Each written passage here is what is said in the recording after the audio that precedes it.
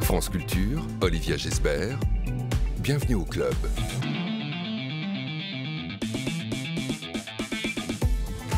Bonjour à tous. Pas de deux aujourd'hui avec Ofesh Schechter, après avoir été à l'affiche de Encore du réalisateur Cédric Lapiche, le danseur et chorégraphe israélien a retrouvé le chemin des scènes avec une nouvelle création, Light Back Dances, à voir en ce moment à la Philharmonie de Paris jusqu'au 8 janvier, avec le Théâtre de la Ville dans le cadre de sa programmation Hors les murs. Ofesh Schechter est notre première invitée. 12h50, c'est le Book Club et aujourd'hui le livre entre dans les coulisses de la vie d'actrice. On en parle avec l'enquête d'Hélène Frappa, trois femmes disparaissent et à travers les récits d'émancipation de sept femmes en scène, de Sappho à Sarah Bernard, racontés par l'écrivaine et metteuse en scène Juliette Riedler, et vos conseils de lecture des biographies de femmes et d'actrices. Hashtag Book Club Culture. Une émission programmée par Henri Leblanc, préparée par Maïlène Despio-Couré, avec Thomas Beau à la réalisation et Jean-Guilain Mège à la technique. Bonjour à tous et bonjour au Feschechter. Bonjour. bonjour. Ravi de vous rencontrer. Bonjour à votre voix française, Pascal Fougère. Bonjour. Bonjour. On commence avec un peu de musique. Bach.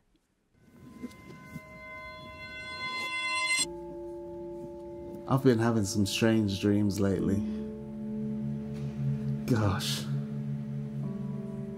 Even though it, it was just a dream, never ever felt that pain. I'm very frightened to be forgotten, to be buried, not to be able to do anything.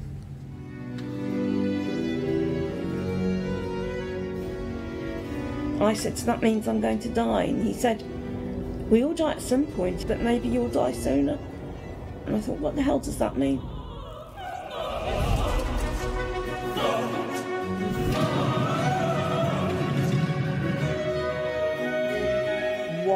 You do if you only had a year to live, a month to live, a week to live?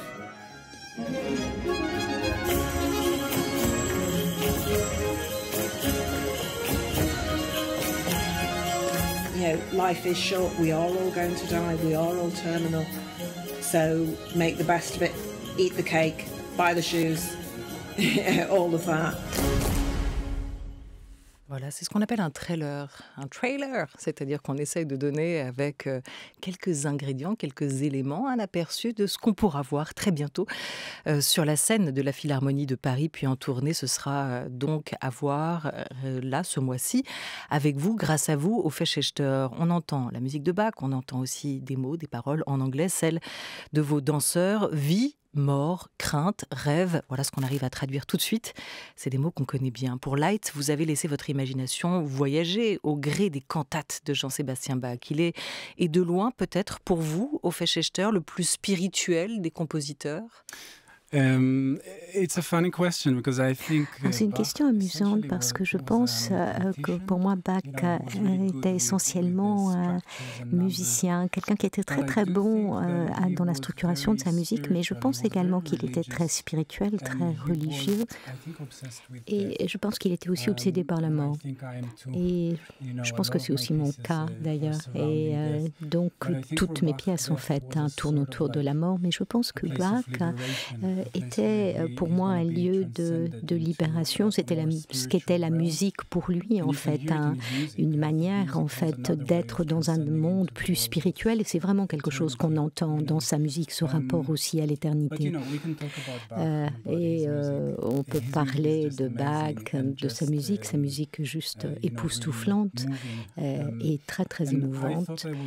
Et euh, je pensais que j'étais 20s. vraiment And then I wanted to see who is my fan de rock hein, quand j'étais jeune, had quand j'avais CDs, 20 ans. and Et I puis euh, un jour, j'ai compté artist les I had more différents CD que it was Bach. j'avais et euh, l'artiste dont j'avais le plus de CD, c'était Bach. Voilà, alors Bach, c'est pas le plus spirituel, c'est le plus rock de tous les compositeurs Maybe, classiques. maybe, Oui, c'est ça. Peut-être. Et vous, vous avez baigné, grandi au Feschechter dans un chaudron musical. On peut parler de toutes les musiques avec vous, hein, réellement. And the question- Yeah, we can speak about all music. Ouais. Oui, on peut parler de toutes les musiques. Parce que vous les aimez toutes et qu'elles vous ont beaucoup influencé. D'ailleurs, c'est I like it all, you know, and, and Oui, it's je les aime toutes en fait. Et euh, c'est vrai que quand j'étais jeune, j'écoutais Led Zeppelin, Rage Against the euh, Machine, voilà. Rage you know, Against the jazz. Machine, du jazz. Euh, j'aime toutes les musiques et puis j'aime aussi en fait uh, toutes les is, dans mes chorégraphies. Là, uh, sur cette pièce-là, c'est uniquement la musique de Bach, hein, mais il y a eu And aussi, bien sûr, pour certaines chorégraphies, des euh, musiques que j'avais the créées moi-même. Et je pense que dans mon it's travail, en it fait, euh, il n'y a pas un genre de musique spécifique, en fait. hein, euh, C'est un espèce de mash-up, hein, voilà, melting pot. Et vous jouez aussi de la musique? Uh, Yeah, ouais. Mais pourquoi play. vous êtes devenu danseur et pas musicien? Um, yeah, I know. Oui, alors je peux jouer, euh, je sais pas, ouais, c'est sans doute une erreur en fait hein, d'être devenu danseur au lieu de musicien. Il y a quelque chose euh, qui euh, a mal tourné dans ma destinée en fait. hein. J'ai commencé par jouer du piano, c'était donc mon premier rapport à l'art. Et pour être totalement honnête, à un certain moment, j'ai découvert la danse et je suis vraiment tombée amoureux en fait de ce que la danse induisait comme caractère communautaire en fait, hein, très différent de moi jouant sur mon piano euh, tout seul. Et euh, j'avais pas ce sens de communauté quand je jouais du piano et euh, je travaillais seule en fait sur là. Et puis là, avec la danse, je me suis retrouvée avec des gens avec qui je travaillais et qui étaient vraiment des inspirateurs en fait, hein, qui me donnaient un déclic. hein. Et du coup, voilà, il y a eu cette espèce de mélange et donc faire de la chorégraphie en y mettant de la musique, c'était la meilleure solution. Et c'est ce que vous avez choisi de reproduire sur scène pour euh, ce Light Back Dances. Pourquoi avoir choisi d'associer danseurs et musiciens directement sur la scène? Well, you know, the, this piece, uh, Lightbach Dances, Alors is en really fait, dealing with euh, death, cette chorégraphie euh. Parle vraiment de la that mort, de notre relation avec elle. Et euh, je dirais que euh, danser, c'est la meilleure manière de euh, s'attaquer à cette question. Si on essaye de définir notre relation à la mort à travers les mots, c'est quelque chose qui what's marche pas très bien. et, mais il y a vraiment que la danse qui peut donner le ressenti qu'on a sur cette question-là et le transmettre. me, Et music donc, pour moi, la musique et la danse, euh, ensemble, hein, c'est un instrument euh, parfait, euh, excellent pour parler de cette question, en fait. hein. Et il est aussi important d'ajouter que dans cette chorégraphie, on a aussi des enregistrements en fait de personnes qui étaient de manière proche confrontées à la mort, à leur propre mort en fait, hein, qui s'approchaient. Et ça permet en fait Um, de so s'approcher encore un peu des différents sentiments euh, qui are sont accompagnés par cette proximité à la mort. Et piece. euh, du coup, c'est quelque chose qui est le what we can moteur en define fait de la pièce. C'est une manière de euh, montrer ce qu'on peut définir euh, par rapport à la mort, ces entretiens, mais en parallèle, on a effectivement la danse et la musique qui permettent de revenir sur les sensations et les émotions. Et c'est ce qu'on entendait dans cette évocation euh, de, de votre pièce euh, ballet, euh, justement, au Fechester à l'instant, dont cette question euh, qui est posée par une voix féminine. Et vous? Et vous, au Fechester, qu'est-ce que vous feriez si vous n'aviez plus qu'un mois, qu'une semaine, que quelques jours à vivre? Hmm. Um, yeah, I don't know. I want to Je think sais pas. Euh, je my life is veux croire que je continuerai à vivre comme je le fais. Ma vie est très exaltante, galvanisante, have et j'aime en fait euh, ces échanges que j'ai that avec beaucoup de gens, y compris la conversation qu'on with a aujourd'hui, people, hein, et puis euh, cet échange que je vais avoir avec des of milliers de personnes à la Philharmonie dans quelques jours, à partir de vendredi. from my life Et tout ça, ça veut dire que les sensations de ma vie sont of mêlées à euh, I d'autres personnes et ça me donne vraiment un uh, sentiment de plénitude en fait et cette capacité que j'ai of d'exprimer en fait connecting them. des émotions sur scène et que but euh, ça euh, that- c'est vu par des milliers de personnes et c'est I vraiment quelque chose que j'aime. En fait, bon, pour répondre, je crois que je passerai du temps avec les gens que j'aime, ma famille, mes amis, euh, et que ben, j'essaierai de, de quitter la vie bien. Música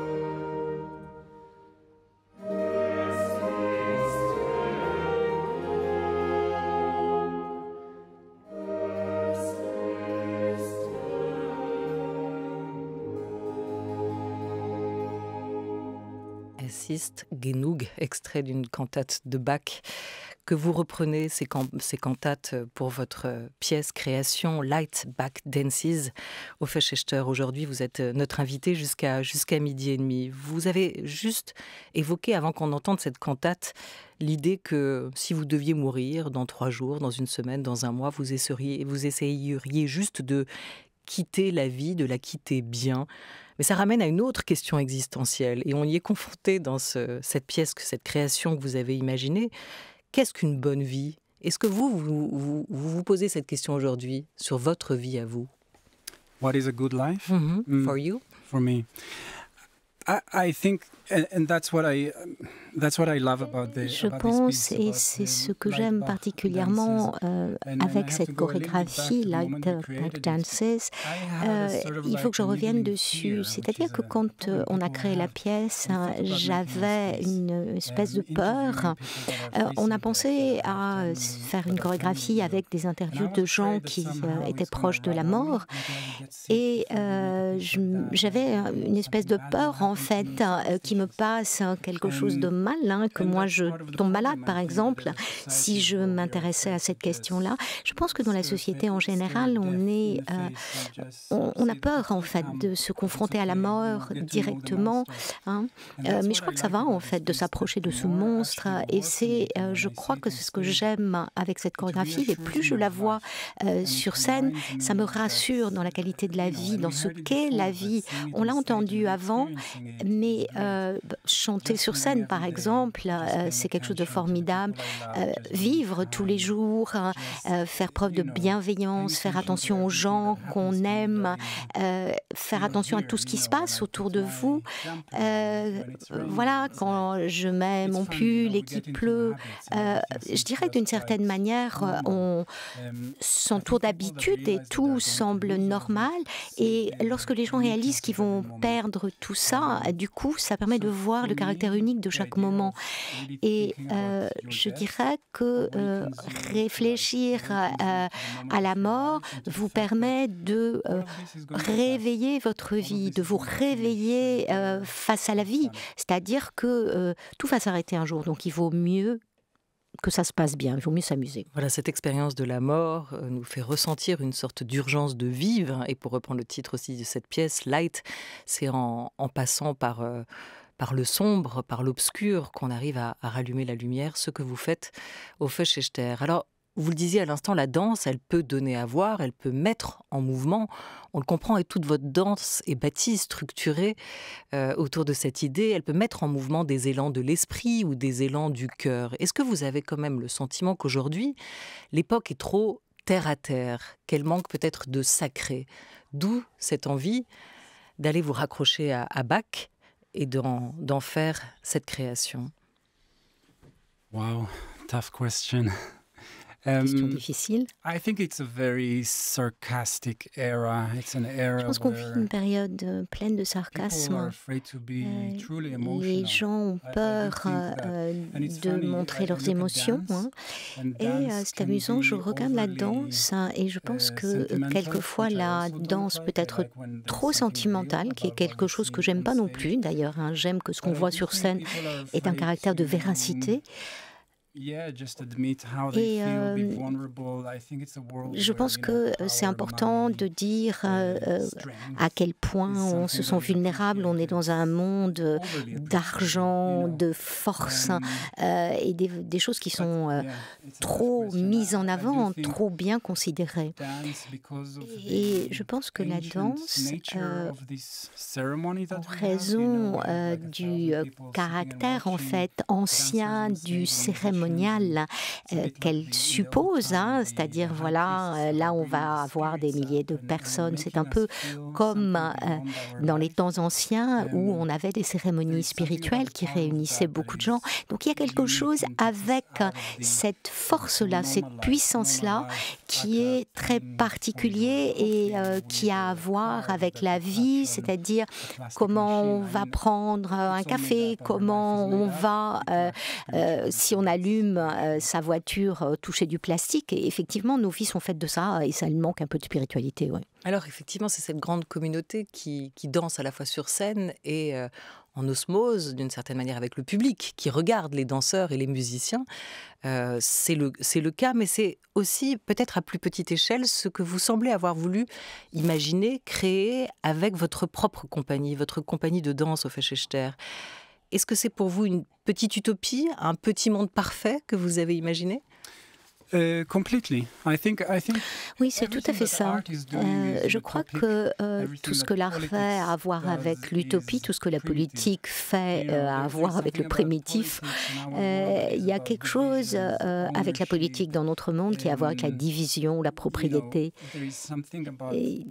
il y a quelque chose avec l'art qui brise ces barrières. Et avec ma compagnie qui accueille des danseurs du monde entier, on tourne dans le monde entier et beaucoup de personnes euh, se relient à notre travail, ressentent des émotions et sentent les similitudes que nous avons entre nous.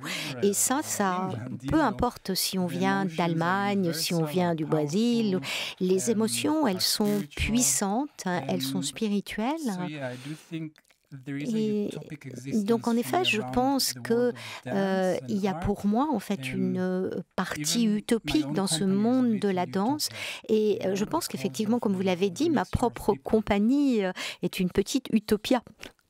Et elle vous suit partout, ou en tout cas, vous continuez à, traverser le monde et les frontières avec cette compagnie. Il faut juste préciser que Light Back Dances, avoir en ce moment la Philharmonie de Paris à partir de vendredi jusqu'au 8 janvier, le tout avec le Théâtre de la Ville dans le cadre d'une programmation euh, hors les murs, a été conçu par vous, au Fachester, avec un metteur en scène d'opéra, un metteur en scène anglais, John Full James. On part ailleurs, mais toujours avec vous, au Fachester.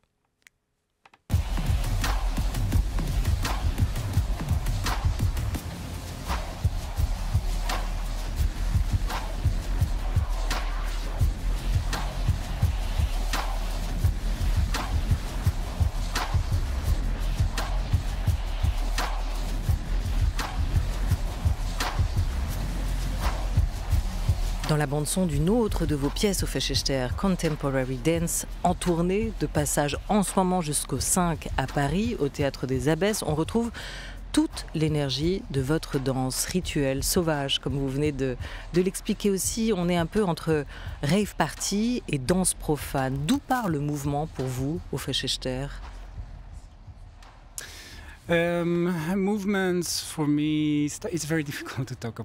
De la tête, c'est très difficile. Du ventre. No, they, they start from the body. The movement starts from the body. Ça part du corps. Euh, on va dans le studio, je commence à bouger, à improviser, je vais le filmer euh, souvent. Ensuite, je vais regarder, puis je vais peut-être ensuite commencer à essayer de comprendre qu'est-ce que ça veut dire. Ça part, ça part pardon, du corps, des sensations, des sentiments. Euh, après, euh, évidemment, mon travail, c'est euh, la chorégraphie, donc il faut que je crée beaucoup de mouvements, et puis ensuite, il faut que je structure tout ça pour essayer d'imaginer un voyage, de monter un voyage qui soit plus cohérent. Mais on ne sait pas vraiment, c'est une question dont on peut parler à l'infini. Hein. On arrive dans le studio, il y a quelque chose qui se passe. Vous les regardez euh, avec admiration, vous les regardez avec curiosité aussi, euh, ces, danseurs qui sont pas tellement plus jeunes que vous, au fond, sauf que vous venez d'une autre école. Vous êtes un enfant, vous, au Fechester de la Batcheva Company, euh, créé dans les années 60 en Israël par l'américaine Martha Graham. Vous êtes un proche du grand chorégraphe Oad Naharin. Vous portez cet héritage en vous, et c'est pas un héritage unique, vous l'avez dit, c'est une sorte d'héritage en strate. À quel moment avez-vous trouvé votre propre voix? Um, I think the moment that I found my voice, which Alors je crois que le moment où j'ai trouvé euh, ma voix, je n'ai pas forcément le sentiment que je l'ai déjà trouvée. J'ai le sentiment que cette voix, elle est chaotique, euh, voix VOX, euh, et qu'elle se compose de diverses choses. j'ai essayé de trouver quelque chose d'original, j'y arrivais pas. Et je crois qu'à partir du moment où j'ai accepté mon héritage avec Forsyth, Spina, Naharine, le moment où j'ai accepté de d'embrasser tout cela, de le faire mien. La conclusion a été euh, une expression libre. Et en fait, euh, j'ai fait que quoi que je fasse, euh, il y a un mantra, euh, tout ce qui sert l'expérience, en fait, euh, c'est bon, en fait. Que je vois la référence de ce que je mets, ça va. mais c'est quelque chose de compliqué, en fait, qui est constitué de plusieurs éléments, de plusieurs strates. Hein. mais bien sûr, voilà, je, prends ces influences et puis je ressors quelque chose et là, je, je sens vraiment le caractère unique. Ça, c'est pour le d'où vous venez. Et la question est où vous allez. Euh, si, si... Non, mais non, non, ça c'est exactement ça. Mais vous avez dit que la danse est, quelque chose de très compliqué à définir. En revanche, vous avez aussi dit que c'est un art pour vous euh, qui ne consiste pas à, à, produire la danse, mais à explorer. Alors qu'est-ce qu'il vous reste encore à explorer au Fechester Everything, everything else. Tout, euh, tout le reste. Et c'est ça la beauté et la difficulté de la danse et de euh, monter euh, des créations. Hein. J'ai fait beaucoup de chorégraphie et j'ai eu beaucoup de chance. Mais la prochaine fois que je vais aller au studio pour travailler sur une nouvelle pièce, tout ce que j'ai fait auparavant ne me sert à rien. Je ne veux pas recommencer ce que j'ai déjà fait. Donc, il faut que je travaille dans le studio en redécouvrant tout. Moi, les danseurs, euh, qu'est-ce qui me galvanise, qu'est-ce qui m'inquiète. Hein. Euh, donc, euh, je crée une, danse quelque part qui va vers le futur, pas forcément sur maintenant. Et donc, c'est toujours pour moi un espèce d'océan immense que je dois explorer et qui présente des possibilités infinies. Et là, on peut faire ce qu'on veut. Et parfois, vous vous noyez? Oh yeah, you drown all the time. Oui, on se noie tout le temps. Voilà, on, nage, on reprend sa respiration, on plonge. Et, euh, l'air euh, de euh, la cohérence complète et du centrage absolu est un fantasme. Hein. Mais à quoi vous vous raccrochez? À quoi vous vous raccrochez dans ces moments-là pour pas vous noyer? À quelle envie Certitude Et croyance. Une espèce d'étincelle de croyance dans le fait que quelque chose va se produire.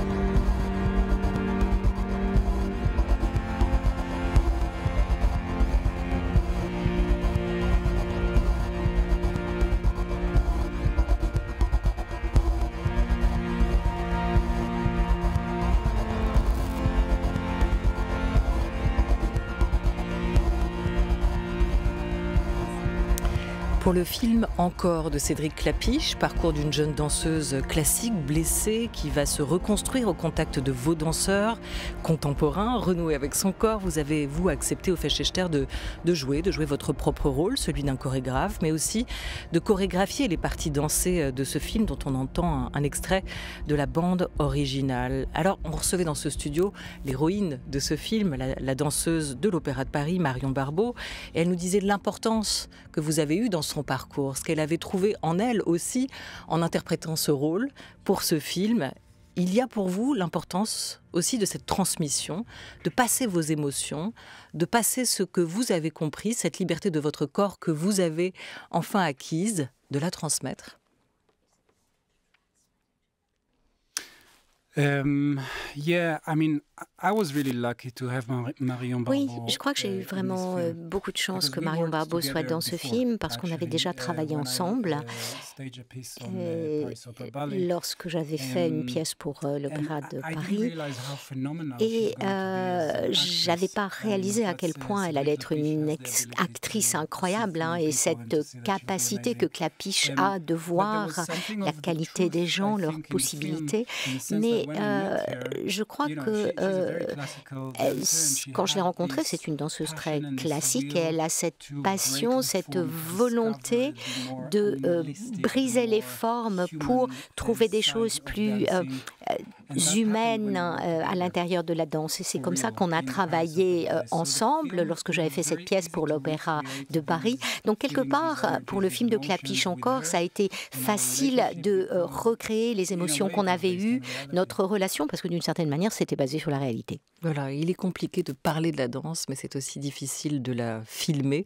Et vous avez trouvé ce point d'équilibre euh, avec le réalisateur Cédric Clapiche au Feschechter. Merci beaucoup. Difficile de filmer la fragilité de la danse, du mouvement, mais tout simplement aussi la fragilité des corps. On va pas parler de, de danseuses dans notre club de lecture aujourd'hui. Bonjour Sébastien Thème. Bonjour Olivia. Mais du corps des actrices. Ouais, des livres et des actrices américaines ou européennes au cinéma et sur scène. Elles apparaissent et disparaissent dans les livres d'Hélène Frappa et Juliette Riedler et partagez avec nous vos lectures sur ce thème, ces livres qui révèlent la femme derrière l'actrice hashtag Book Club Culture. A tout de suite. Au Fachester, merci beaucoup. Pascal Fougère, merci mille fois pour votre traduction.